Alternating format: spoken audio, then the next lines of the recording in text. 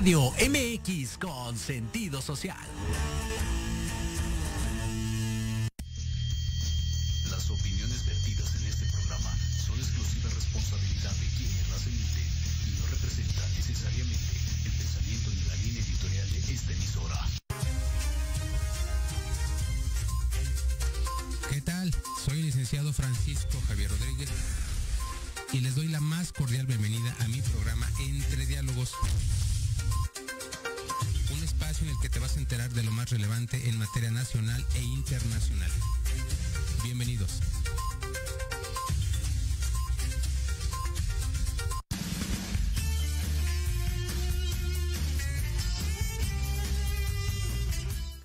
¿Qué tal? ¿Cómo están? Buenas tardes, bienvenidos, bienvenidas. Hoy es sábado 14 de enero del año 2023, segunda semana de este año nuevo. A ver cómo nos va. Vamos a arrancar con la información. Hace ocho días, precisamente hoy hace ocho días, tuvo lugar una colisión de dos trenes del metro entre las estaciones La Raza y Potrero de la línea 3 Resulta que el convoy identificado con el número 23 se quedó varado en medio del túnel sin luz y el convoy 24 no se percató de la presencia del 23 y, lo, eh, y le pegó, chocaron. Esto provocó más de 100 heridos y desgraciadamente una persona muerta.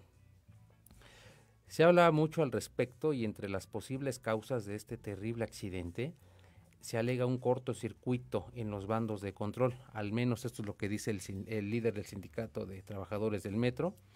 Y él también afirma que hay más de 160 trenes que ya rebasaron el kilometraje reglamentario, así como cualquier coche. Y hay más de 150 trenes, así lo dijo, literalmente están arrumbados en distintos talleres del sistema colectivo metro y la mayoría dice que este tipo de incidentes tiene lugar por falta de mantenimiento y por falta de inversión en el sistema colectivo. bueno, el día del accidente, según los eh, usuarios, los servicios médicos llegaron 45 después, 45 minutos después de la colisión y la jefa de gobierno llegó tres horas después de ocurrido el accidente. Creo que andaba de campaña en Michoacán y tuvo que regresar de emergencia y precisamente la jefa de gobierno dice que este tipo de cosas son inusuales y las califica de anormales y da a entender de alguna manera que hay un complot en su contra para desvirtuar su, digamos, virtual candidatura para el 2024 y en apoyo de la jefa de gobierno, el presidente López Obrador, ya ordenó desde antier, si mal no recuerdo, que 6.000 elementos de la Guardia Nacional vigilen el metro, todas y cada una de las estaciones del metro para evitar este tipo de sabotaje, entre comillas.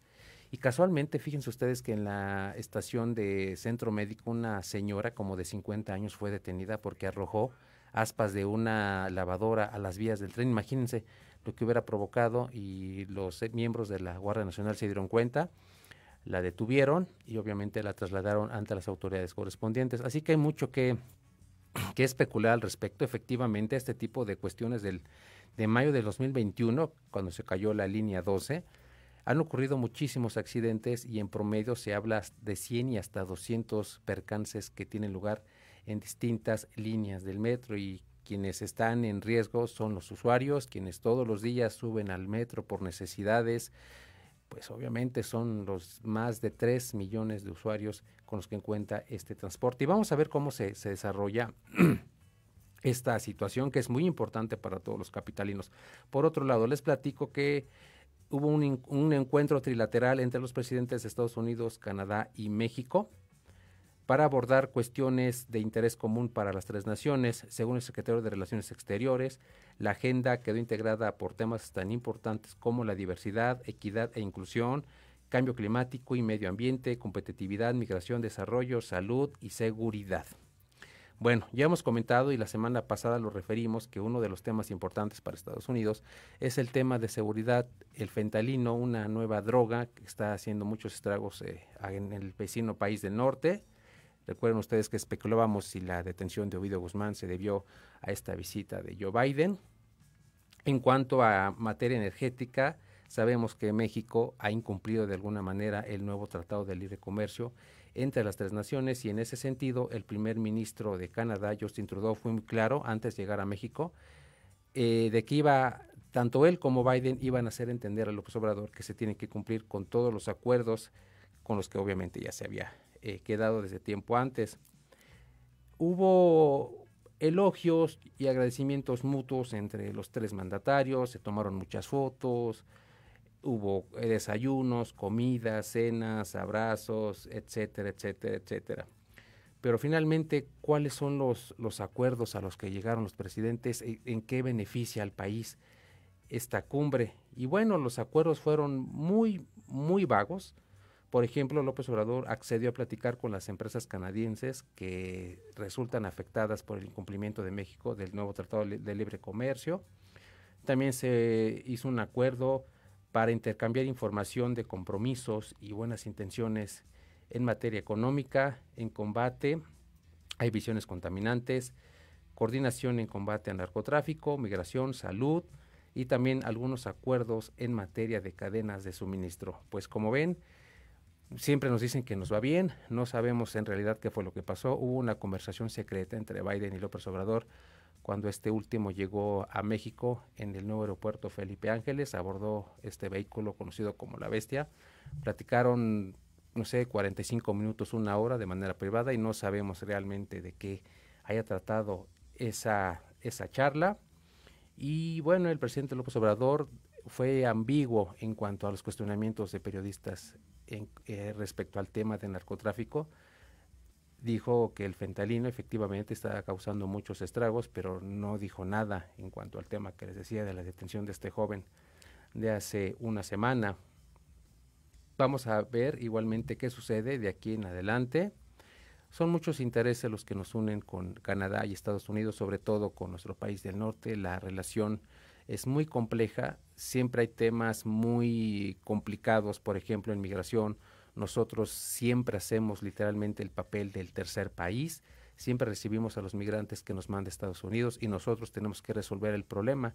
Ya en otras emisiones hemos platicado del trabajo sucio que hacemos nosotros para eh, regresar a la gente a Centroamérica y esa fue una de las propuestas que también se platicó en la cumbre de ver ya formalmente que México se convierta en un tercer país, es decir, que reciba a todos los migrantes de Estados Unidos y se queden en territorio mexicano hasta resolver qué va a ser de su destino. Y es algo que les digo en la práctica y ocurre y francamente no es nada nuevo. Y bueno, pasando a otras noticias, les comento que la UNAM finalmente resolvió que sí hubo, plagio en la tesis de la ministra Yasmín Esquivel. Recuerdan ustedes que desde diciembre les comentaba que esta ministra pretendía suceder a Arturo Saldívar en la presidencia de la Suprema Corte, pero salió este escándalo a la luz y finalmente la UNAM resuelve que sí hay plagio, es decir, que la ministra Esquivel copió, así copió la tesis del abogado Edgar Ulises Báez Gutiérrez, y da vista a la UNAM, a la SEP, para que resuelva pues lo que en derecho corresponda. Es un eh, problema gravísimo. Imagínense ustedes que una ministra de la Suprema Corte, el ministro es el máximo cargo al que pueda esperar un abogado en México y que resulte que se tituló con una tesis plagiada. No, no se había visto que yo recuerde. Sí es grave porque entonces cuál es la base moral, cuál es la base ética y profesional de la ministra para seguir en este cargo. No se ha dicho si va a haber sanciones o no, todo el mundo le está pasando la pelotita de una autoridad a otra y los partidos de oposición sí piden juicio político contra la ministra Yasmín Esquivel.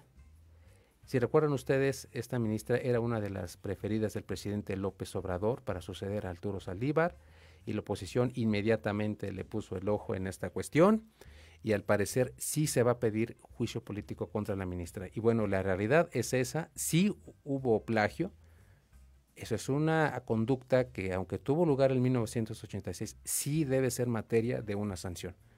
Esta cuestión le compete a las autoridades. Ahora quien tiene que resolver si administrativamente hay sanción es la CEP, pero ya en el Senado se, piensa a, se empieza a platicar sobre la posible el, digamos, el posible inicio de un juicio político contra la ministra Yasmín Esquivel. Igual es una noticia importante a la cual le vamos a dar seguimiento en los próximos días.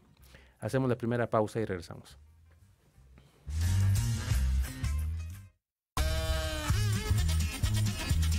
Oye, oye, ¿a dónde vas?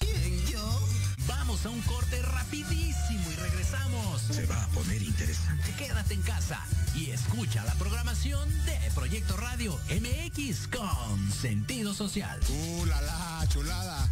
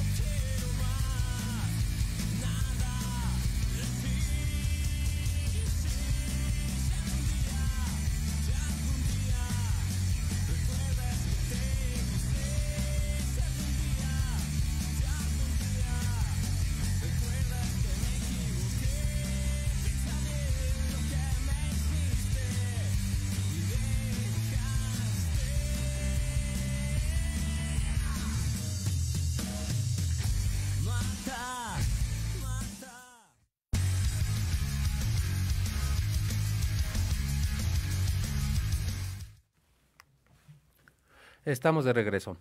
Les platico que el pasado 8 de enero de este año, un grupo de aproximadamente 200 manifestantes y simpatizantes de Jair Bolsonaro, expresidente de Brasil, literalmente invadieron, no sé si decir si tomaron la sede de los tres poderes de aquel país. Me refiero al Congreso, al Tribunal Supremo y el Palacio, y Palacio Presidencial de Planalto, todo esto en Brasilia. Y de manera concreta, estos manifestantes eh, no están de acuerdo con el regreso al poder de Lula da Silva. Es así de sencillo. No hay otra razón hasta este momento que nos haga pensar pues en otra posibilidad. Y para platicar más a fondo de este tema, nuevamente tenemos con nosotros a nuestro amigo Juan Aulló, nuestro experto en temas de Brasil, para que nos amplíe el panorama en relación a este importante tema. Buenas tardes, Juan, gracias por acompañarnos. ¿Qué tal, Francisco Javier? Buenas tardes, ¿cómo estás? Gracias. Gracias, Juan. Igualmente. Vamos a empezar por la pregunta de cajón. ¿Cómo debemos interpretar lo sucedido en Brasilia el pasado domingo 8 de enero? Bueno, yo creo que fue un, básicamente un atentado a la democracia. O sea, las personas que invadieron, sobre todo el Senado y la Suprema Corte, es que causaron daños muy graves, o sea, destrozaron objetos que pertenecen a la nación, o sea, eh, un vitral de un artista, artista famoso, cuadros de todos los presidentes, estatuas, un reloj que había regalado un papa al rey de Brasil, a uno de los antiguos reyes de Brasil, eh, un jarrón chino que por lo visto tenía muchísimo valor, un ejemplar raro de la Constitución. O sea, una cosa increíble. Eh, se robaron material informático, armas, material fotográfico, rompieron cristales, sillas, llegaron a orinar y a defecar en mitad de los salones, Javier. actuaron como una manada.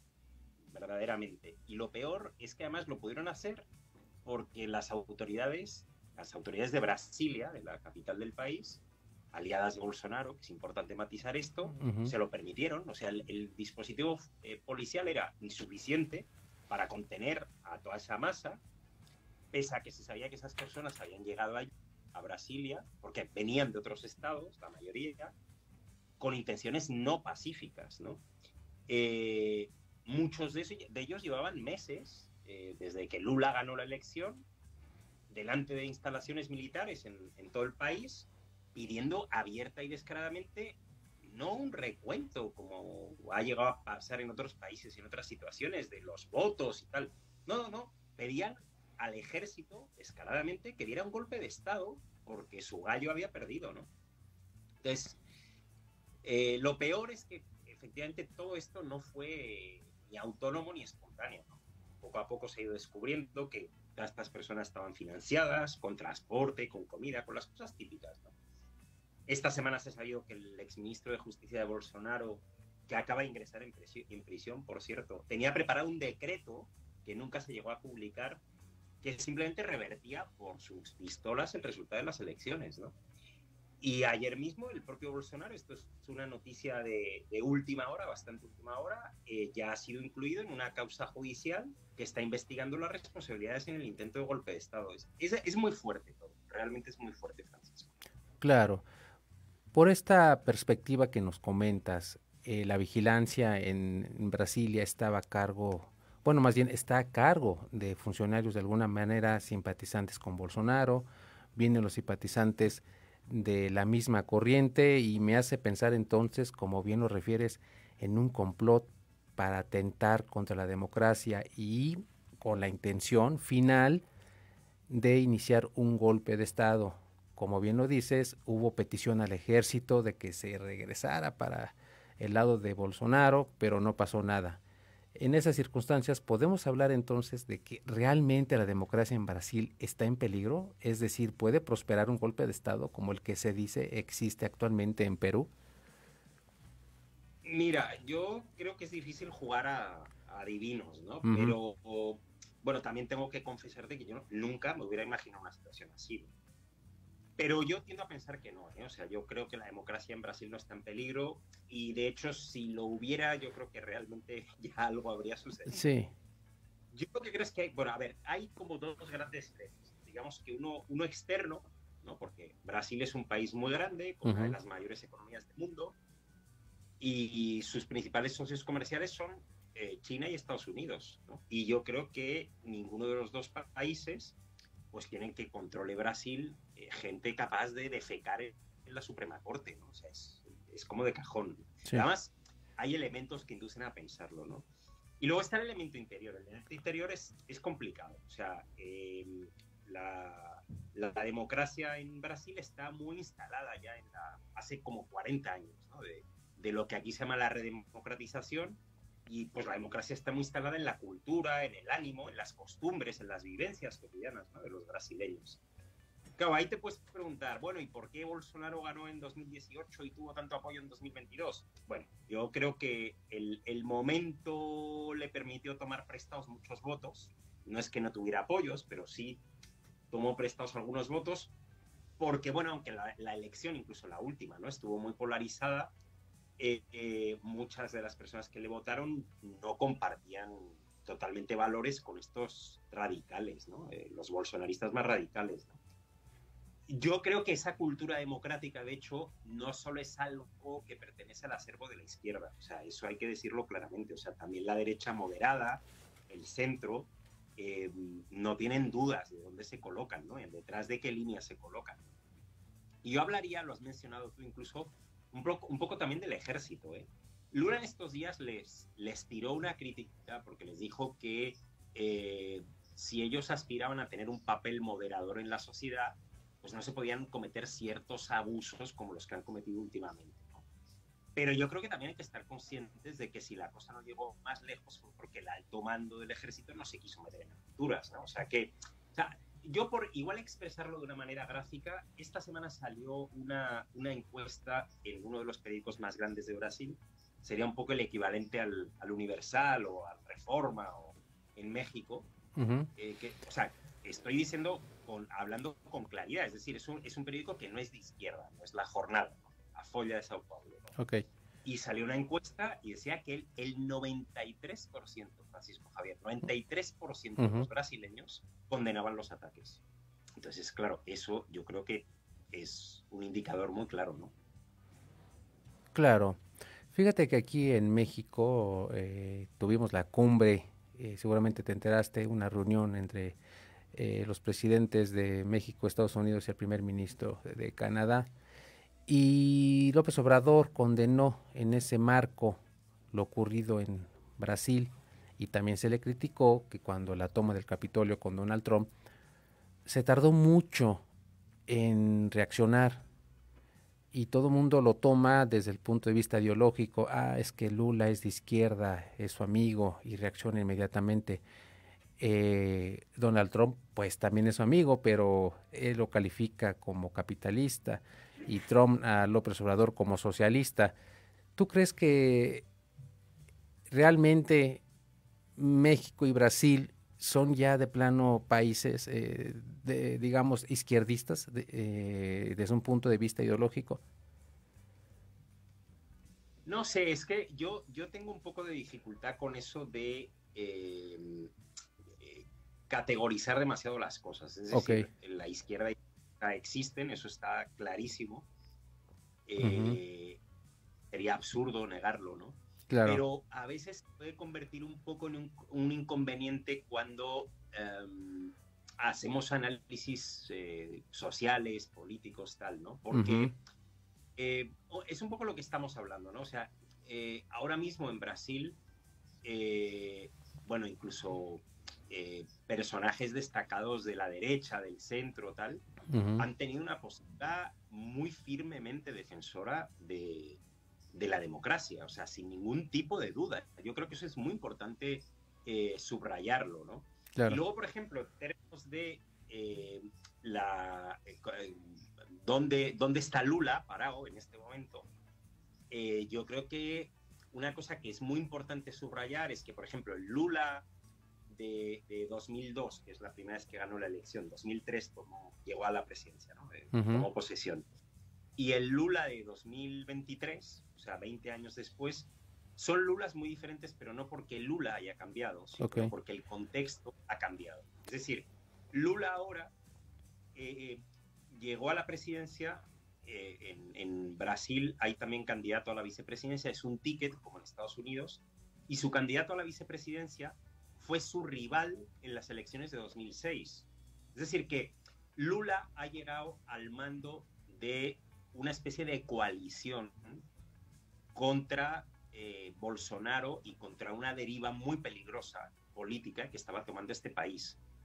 Así que es un gobierno muy plural. O sea, por ejemplo, una de las primeras pequeñas polémicas que ha tapado todo esto, uh -huh. pues ha sido que eh, uno de los aliados de Lula eh, -huh. en Río de Janeiro, cerca de Río de Janeiro, en la llamada Baixada Fluminense, que es una zona de favelas, o bueno, muy popular, ¿no? Uh -huh. eh, pues eh, pertenece a un partido de derecha, eh, dicen que tiene vínculos con grupos paramilitares, tal cual, ¿no? Entonces, eso es un poco, eh, yo no sé si es verdad o mentira, no uh -huh. es lo que me interesa aquí, lo que me interesa destacar es que su coalición es muy amplia.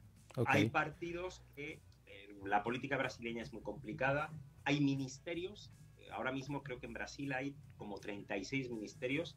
Hay ministerios que están en manos de partidos de la coalición que apoyó a Bolsonaro. Hay partidos de derecha, hay partidos de centro. Claro, es verdad que el Partido de los Trabajadores o el Partido de los Trabajadores, el, el Partido de Lula, sí. es el que más cargos tiene, ¿no?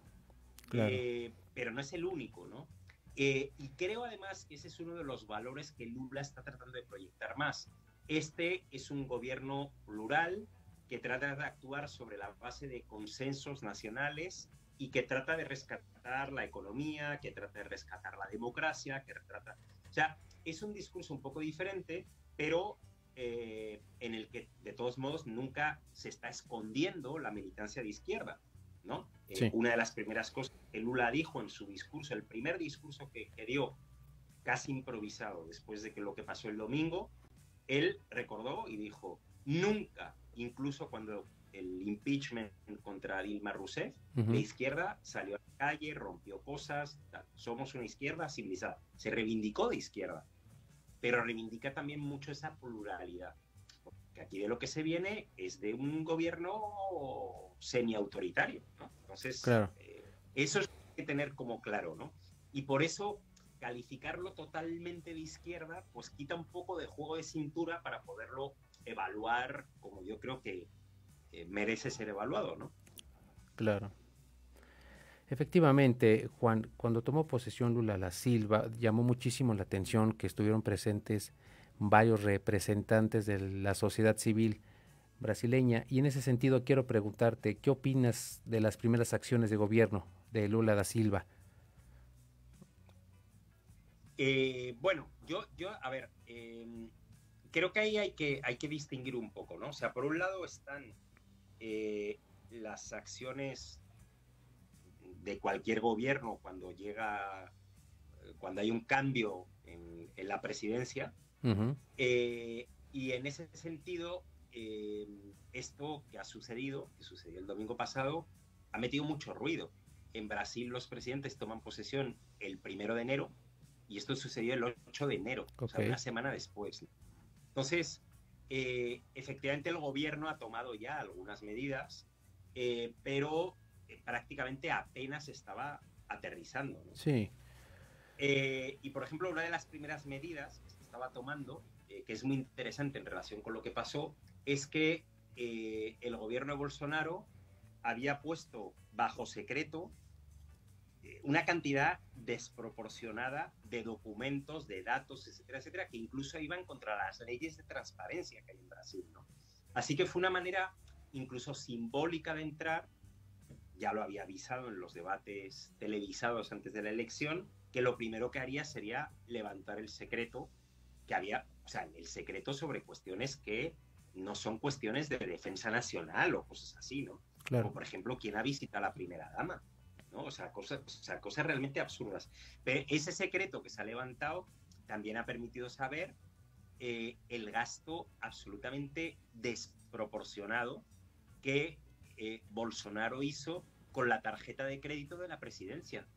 Eh, si no me equivoco, gastó más él solo en su periodo presidencial que el primer gobierno de Lula en 2002, el, gobierno, el segundo gobierno de Lula en 2006 el primero de Dilma, el, el, de mitad de periodo de Dilma, porque llegó el impeachment, el de mitad de periodo de Temer que le sustituyó, gastaron menos de lo que gastó Bolsonaro. Y con gastos muy sospechosos. Esas de las primeras medidas que se empezó a tomar. Más allá de eso, hay una evaluación muy seria que se había hecho en el periodo precedente, digamos en el periodo de transición, precisamente el vicepresidente, eh, Geraldo Acmin, eh, em, elaboró un informe muy eh, prolijo, em, tratando de hacer un diagnóstico de la situación y tratando de eh, establecer medidas que permitieran empezar a, a, echar a andar el gobierno, pero uno de los principales problemas, yo creo que explica muy bien la situación, es que prácticamente con la ley de presupuesto que había aprobado el gobierno Bolsonaro para este año, había candados por todas partes. No se podía gastar nada. Entonces, lo primero que tuvieron que hacer es empezar a negociar eh, leyes de acompañamiento que permitieran poder volver a recuperar presupuesto, porque el presupuesto estaba completamente desequilibrado. O sea, al punto de que la investigación científica, por ejemplo, se paraba y se paraba porque no había dinero. O sea, era, era una cosa muy extrema. A partir de ahí, esta semana entera, y ya con esto termino, eh, eh, las medidas que se han tomado han sido básicamente contra lo que ha sucedido. Y las medidas contra lo que ha sucedido yo creo que han sido excelentes. O sea, el gobierno de Lula actuó con una rapidez brutal. Eh, y yo creo que es importante decir que siempre respetando la ley y los derechos humanos. yo creo que se han hecho muchas cosas muy, muy importantes, ¿no? y que, que, hay que remarcar, ¿no? Eh, además no fue solo el gobierno de Lula, fue el, gobierno, fue el Parlamento y fue la Suprema Corte. Intervinieron el gobierno de Brasilia, ¿ok? O sea, es como si se interviene el gobierno de, la Ciudad de México, ¿no? ¿no? quiero establecer un paralelismo, solo que se me entienda bien, ¿no? Ok. Destituyeron al gobernador. Dictaron orden de prisión contra el secretario de Seguridad Pública de Brasilia, porque es el responsable de la policía. Eh, abrieron una investigación eh, eh, que es esta en la que se ha imputado al, al propio Bolsonaro, ¿no? Abrieron averiguaciones previas, creo que contra más de 3.000 personas por los destrozos. Han privado de libertad ya como unas 500, ¿no? Porque tienen ya, eh, las agarraron en flagrante, como le llaman aquí, ¿no? Eh, han abierto líneas de investigación de los de las empresarios que estaban financiando muchas de estas cosas. Se pretende retirar el fuero a diputados que estaban justificando lo que había sucedido. Yo, yo creo, ya con esto, esto ya concluyó. La- la- lo que mejor indica el espíritu de lo que, de lo que está pasando y de, y de, y de los actores, la visión que tienen sobre lo que está pasando, es la exposición de motivos de esa, eh, de ese autojudicial que investiga la trama del, del golpe, ¿no? la, que, la que mencionaba antes. Te voy a leer lo que dice y con esto concluyo la exposición de motivos. Ok. Muy corto, ¿eh? Ok. Dice, la democracia brasileña no va a seguir soportando la innoble política de apaciguamiento cuyo fracaso quedó ampliamente demostrado en el intento de acuerdo del entonces primer ministro británico Neville Chamberlain con Adolf Hitler, literal. Ok. El juez que redactó estas líneas, Francisco Javier, no lo nombró la izquierda, lo nombró Temer, el, el presidente que sustituyó a Dilma Rousseff después del impeachment. Es una persona más o menos centrista. Imagínate cómo es la situación. Sí, sí, sí, me imagino, Juan. Una última pregunta. En tu primera respuesta me decías que se inició ya una investigación judicial contra Bolsonaro por los hechos ocurridos el 8 de enero. Y ahorita nos comentas que se destapó la cloaca, por así decirlo, y se dejó en evidencia eh, el gasto excesivo de la presidencia de Bolsonaro. ¿Este desfalco también será parte de una investigación judicial? ¿Tú crees que se inicie también alguna averiguación por este motivo? Eh, parece ser que por ahí pudieran ir las cosas, porque además eh, no he querido entrar en detalles para no quitarte tiempo. Porque No te preocupes. preciado largo. Pero, pero bueno, es que hay cosas que son, parece ser muy sospechosas, ¿no? O sea, por ejemplo, em, gastos redondos, eh, no sé, ahora mismo no lo tengo a mano, me lo estoy inventando, 9.200, ¿no? Ujú. pero varios gastos iguales, redondos, el mismo día o en días diferentes, ¿no? Y bueno, hay una serie de gastos que son completamente desproporcionados, gastos en hoteles. Eh, hay un gasto en un restaurante eh, que ahora mismo no recuerdo la cifra, es una cosa, es, es absolutamente ridículo. Sí. ¿no? Y además esto, eh, lo peor es que tiene precedentes, ¿no? Tiene precedentes, ¿por qué? Porque lo que ya hubo fue una causa abierta que cuando Bolsonaro gobernaba quedó medio sobreseída y tal, y fue precisamente contra Bolsonaro y contra varios de sus hijos que tenían el mismo tipo de práctica, eh, hacían lo que aquí se llama rachadiñas, ¿no? es decir, que eh, su- subordinados, eh, subordinados institucionales, o sea, estamos hablando de sus secretarias, personal a su servicio, pues no sé, el parlamento, lo que fuera, les ponía un sueldo y entonces ellos formalmente cobraban el sueldo y ellos le pegaban una mordida. Ok. Entonces, claro, claro, hay muchas sospechas, al punto, en, en- en portugués eso se llaman rachadiñas, ¿no? Es como mordida, un poco sería la idea de mordiditas. ¿no? Claro. Y a esto eh, le estaban llamando, eh, haciendo un chiste lanchadiñas, ¿no? O sea, el chiste con el restaurante, ¿no? Restaurantiñas, ¿no? No sé, o sea, está eh, claramente eh, lo que se está insinuando es que mm, son cosas muy raras, ¿no? Ok. Y luego, pues no sé, por ejemplo, el tipo salía mucho, eso hasta yo creo que se- habrás visto tus fotos o habrá gente que ha visto fotos, especialmente cerca de la campaña electoral, salía con moteros, ¿no? Con estos de Harley Davidson y tal, y él Sí. se tomaba la foto y la cosa. Y bueno, hay pagos de gasolina también. Es, es, es una locura eso. Y, y lo que he dicho antes, o sea, el, el gasto es muy superior al que hicieron todos los expresidentes juntos, ¿no? Entonces, bueno, hay que ver hasta dónde llega, ¿no? Esta semana esa ha sido la, la noticia, que además está en todas las redes sociales, que todo el mundo comentaba, que, en fin. Claro, y, y ese es un panorama, sí. Ok. Juan, te agradezco muchísimo nuevamente tu atención para este programa Entre Diálogos y ya sabes que aquí eres bienvenido y sé también que cuando sea necesario aquí vas a estar con nosotros. Por supuesto que sí. Muchas gracias a ti y a tu audiencia, Francisco Javier, y a su disposición. Claro que sí, Juan. Un abrazo hasta Brasil. Otro hasta México. Muchas gracias. Gracias, Juan. Tengan Un excelente. Chao. Igualmente, gracias. Saludos, Juan. Como ven, un tema importante, mm, coincido con Juan, no creo que la democracia en Brasil esté en peligro como sí lo está en Perú, que también ya hemos tratado ampliamente ese tema. La democracia está aprobada en Brasil por el 93% de los ciudadanos de aquel país, así que este inconveniente, este incidente del 8 de enero seguramente va a traer consecuencias, pero no para el gobierno de Lula da Silva, sino para quienes planearon y ejecutaron esta tentativa de golpe de Estado contra un gobierno que tiene escasas semanas de haber ganado y como bien lo refería Juan, se han implementado varias acciones en beneficio de los brasileños, se han destapado varios, eh, digamos, puntos finos, puntos ocultos de la administración de Bolsonaro que también le va a traer problemas más adelante. Y bueno, pues vamos a seguir con las notas internacionales. Les platicaba desde finales del año pasado que uno de los principales problemas con que iba a cerrar el 2022 eran los altos índices de inflación. Todo el mundo, en todo, todas las regiones, eh, se presentó este problema y una de las regiones más afectadas sin duda fue Europa, además de la crisis energéticos con la que también cerramos el 2022.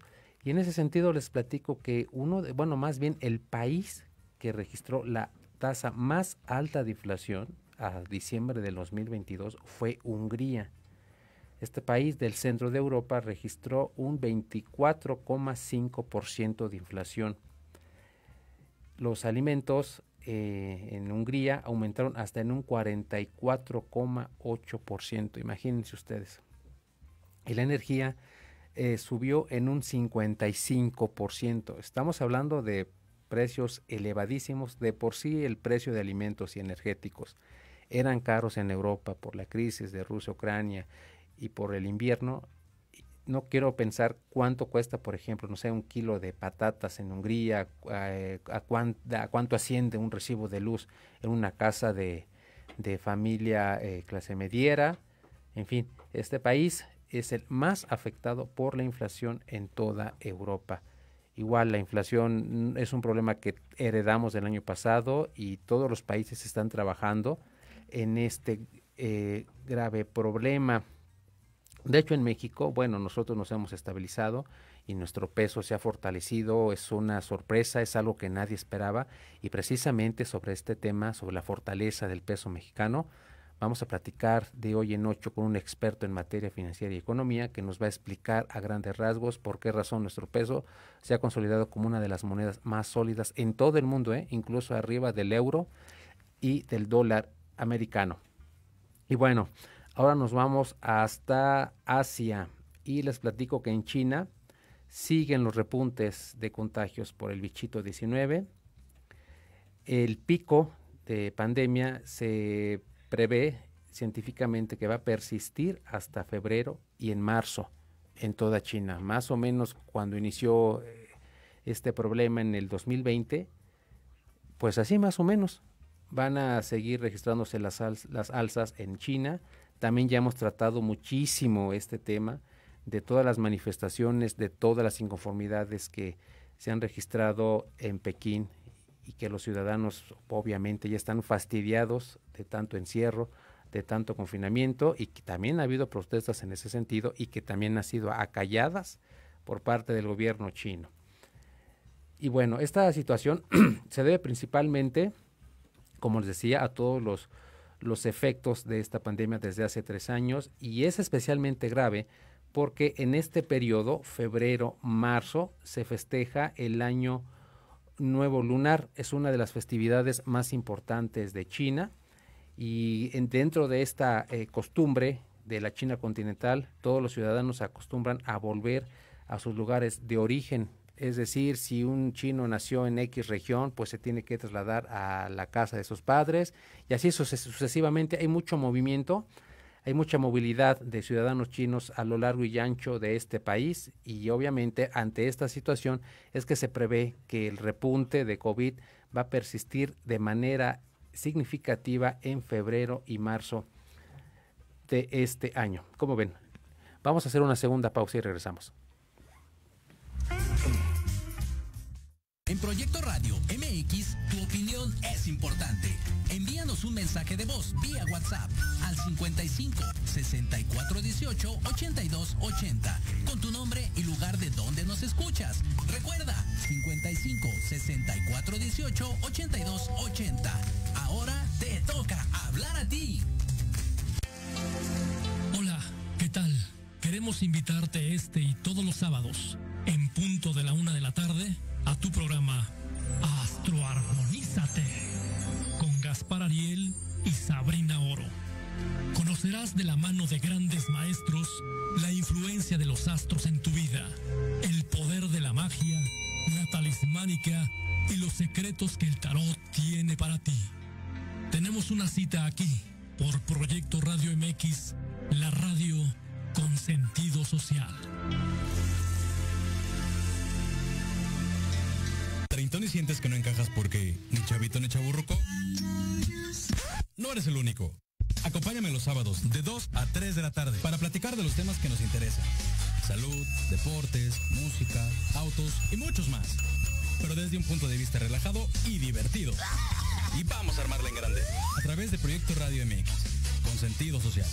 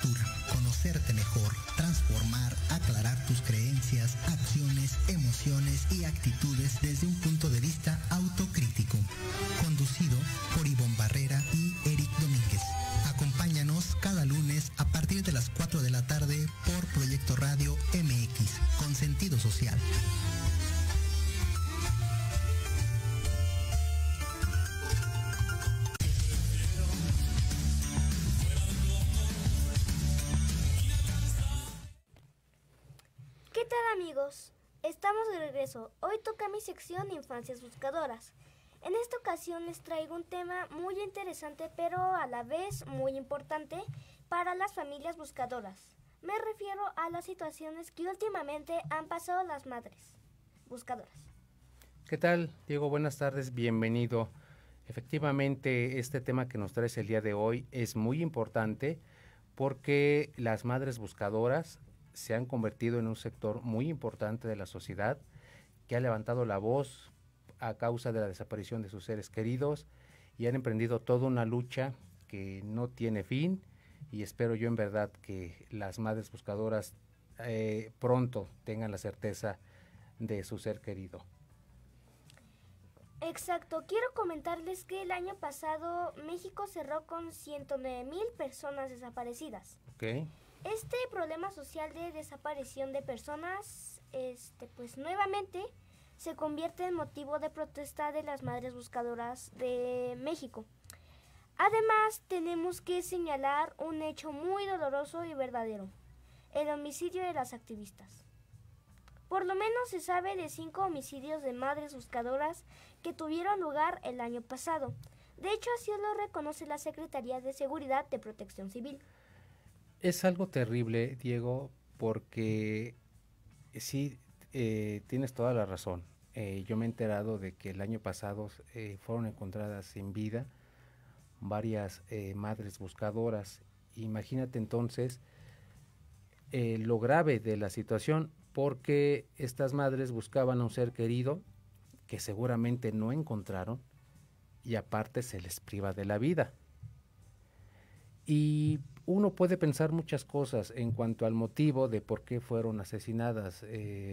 Desgraciadamente, y lo hemos tocado aquí contigo, una de las principales causas de la desaparición de personas, hombres, mujeres, niños, niñas y adolescentes, es la delincuencia. Es toda la estructura que sostiene la delincuencia y cómo mm, ciertos intereses se ven afectados o se ven invadidos cuando alguna madre eh, buscadora está por localizar a su ser querido y de alguna manera tiene que destapar, digámoslo así, una cloaca y va a dar a la luz, va a dar a conocer eh, muchas cosas que a cierto sector, que a cierto grupo no le conviene y yo creo que por ahí va la razón de los asesinatos de las madres buscadoras.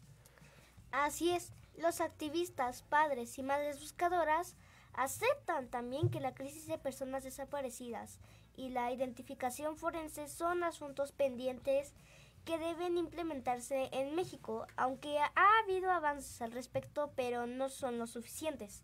Además, la gente sigue desapareciendo y las personas desaparecidas obviamente todavía no han sido localizadas.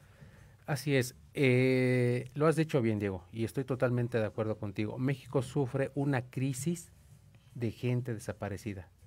Es así como mm, cuando un niño sufre de gripa, de fiebre y hay que curar la enfermedad. En este caso estamos hablando de lo mismo. México está enfermo de una crisis de personas desaparecidas. Esa es la realidad. Es algo que mm, pocos saben. Se difunde efectivamente la situación, pero hace falta mucho por hacer todavía para que todo México esté enterado de lo que ocurre en nuestro entorno social y por qué la gente desaparece en México. Por eso yo valoro mucho esta sección de tu parte nos arrojas luz sobre qué debemos entender y para ser solidarios con los demás. Y efectivamente, fíjate que la identificación forense es una medida que se implementó desde el año pasado y tiene la finalidad de identificar por medio del ADN los restos humanos que son localizados para ver si entre esos restos desgraciadamente se encuentra el ser querido de alguna madre buscadora, de algún padre buscador, de una familia que hace tiempo que no ve a su ser querido y que todos los días de lunes a domingo, los 365 días del año. Están preocupados por saber en dónde está eh, su familiar y este procedimiento va a permitir identificar los restos humanos, que bueno, ya es una manera de, mm, de, darle certezas, de darle certeza a la familia de dónde está su ser querido, que no debería de ser de esa manera. Todo mundo quiere a su familiar vivo, pero pues desgraciadamente no siempre es así. Correcto. También tenemos que mencionar que la crisis de desaparecidos, la violencia de género y la tortura son temas importantes en materia de derechos humanos que todavía no tienen solución. Eh, los colectivos de búsqueda opinan que la actitud de las autoridades es pasiva, así que tienen que ser las familias, pues más concretamente las madres buscadoras, quienes hacen la labor de búsqueda que es un trabajo que las autoridades deben de hacer. Las madres buscadoras también reclaman la falta de apoyo para buscar a sus seres queridos. En este caso, también son las madres buscadoras quienes tienen que arreglárselas ellas mismas para intervenir en todo lo necesario para las búsquedas de sus seres queridos. Claro, ese es otro tema importante, eh, digo. Lo comentamos también en alguna ocasión. Las familias que sufren de la desaparición de un ser querido en la mayoría de los casos no tienen los recursos económicos suficientes para emprender una búsqueda minuciosa y localizar a su familiar. Desgraciadamente, eh, las familias que resultan afectadas son de escasos recursos y si van a, a, destinar el poco dinero que tienen a la búsqueda de un familiar, imagínate el sustento en casa se va a ver afectado tarde o temprano. Así que, de alguna manera, la situación se va a agravar debe haber apoyos para sacar adelante esta crisis, porque te comentaba, esto es una enfermedad que padece México y el, eh, las autoridades deben invertir para terminar con este problema. Así como vamos al médico y compramos medicinas para curarte cierta enfermedad, de esa misma manera el gobierno mexicano debe invertir recursos para sacar adelante esta crisis. Y sí, efectivamente, por otro lado, eh, la violencia de género también es otro tema importante que debe implementarse de manera correcta para ser ya considerado como un problema grave de derechos humanos. Violencia de género, es decir, cuando cierto sector de la sociedad por género, es, normalmente son las mujeres, que las que sufren violencia en casa, sufren violencia en sus trabajos y únicamente por el hecho de ser eh, mujeres, ustedes los niños, niñas y adolescentes, desgraciadamente también eh, sufren violencia de género. Hemos sabido de muchos maltratos en agravio de niños, niñas, adolescentes. Eh, no sé, creo que sí he comentado yo en este espacio que cuando por razones de trabajo tengo que ir a la Fiscalía de la Ciudad de México, en el famoso búnker, aquí sobre doctor Gabriel Hernández en el centro de la ciudad, a espaldas de Niños Héroes. Eh, luego yo paso por la Fiscalía de Delitos contra Menores y Adolescentes y hay muchos niños. Siempre que voy encuentro entre 10 y 15 niños de entre 6 y 10 años de edad, o sea, más o menos la edad que tienes tú. Y yo lo he platicado contigo. Estos niños, en vez de estar en su casa, en el colegio o haciendo alguna actividad propia de su edad, tienen que perder el tiempo yendo a una fiscalía y no van de visita. Desgraciadamente van ahí porque fueron objeto de algún abuso. Y estamos hablando de un abuso de cualquier naturaleza, desde físico, emocional, sexual, este, no hay dinero o el papá o mamá no deja dinero para comer. Son muchas situaciones que ustedes como niñez enfrentan y es aquí, como bien lo dices, no hay los recursos ni el interés suficiente para sacar adelante esta situación que enfrenta la sociedad. Y efectivamente me ha tocado ver la pasividad de las autoridades, sobre todo en las fiscalías, están literalmente llenos de trabajo eh, la Fiscalía conoce de asuntos, híjole, en promedio en un año creo que son más de dos mil asuntos que hay que resolver, es mucho trabajo. De ahí tal vez la indiferencia. Este es un asunto, este es otro, este es otro, y todos son iguales, pero no debería de ser así, todos somos seres humanos, todos tenemos familia y todos debemos ser empáticos con los demás, sobre todo las autoridades que no apoyan como debería de ser. Como te digo, es un asunto más y si aparte tú agregas la circunstancia de que no hay ayuda económica de parte de las autoridades y que son las familias las que tienen que sacar adelante estos gastos, es una cuestión muy, muy triste y que ojalá las autoridades puedan entender. ¿Tú qué opinas, Diego? Pues yo opino de que si hay recursos económicos que se destinan a este fin, estos no se aplican o se manejan de pues, manera incorrecta por parte de las autoridades, además de que hay falta de planeación y una buena estrategia para aplicar los recursos económicos y humanos para resolver la crisis de personas desaparecidas en este país. Efectivamente, digo, además de que, como dices, los recursos son escasos, la aplicación no se hace correctamente y también hemos sabido de autoridades que aunque tienen el recurso, pues sencillamente no los aplican al fin que debe de ser. Y nos preguntamos dónde está entonces ese dinero, por qué las familias están sufriendo por esta cuestión, si el dinero existe para ese fin ¿Te acuerdas que la semana pasada hablamos precisamente de la corrupción? Y que decíamos que son cosas que se hacen y que no se deberían de hacer. En este caso, por procurarse, pues un, lucro económico. Pero bueno, el tiempo se nos ha acabado. Diego, ¿algo más que nos quieras decir? Sí, de mi parte sería todo. Solo quiero agregar algo rapidísimo. Ok. Que yo como niña imagino el sufrimiento de las madres buscadoras. Así que deseo de corazón que esta crisis se resuelva para el bienestar de todo México. Gracias, Diego. Muchísimas gracias por su atención y nos escuchamos de hoy en 8. Gracias, Diego, por acompañarnos. Gracias a ustedes. Gracias por acompañarnos. Hasta la próxima. Amigos, muchísimas gracias por sintonizarnos este fin de semana y los esperamos el próximo sábado para una nueva emisión de Entre Diálogos.